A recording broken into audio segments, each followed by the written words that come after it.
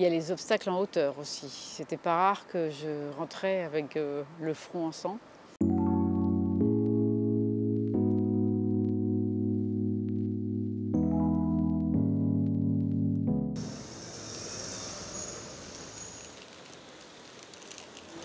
Signale rien, mais d'ailleurs ni à droite ni à gauche.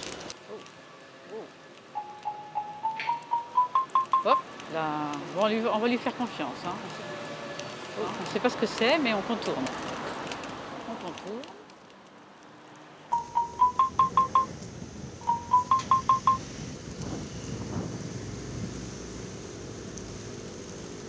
Si on entend le son à gauche, c'est que l'obstacle est à gauche. S'il est tout droit, c'est que l'obstacle est devant nous. S'il est à droite, c'est que l'obstacle est à droite, plus vers la droite. Et donc on se décale en fonction de ce qu'on entend. Si on entend un obstacle plutôt à droite, on va se, on va se décaler vers la gauche et on va contourner comme ça l'obstacle.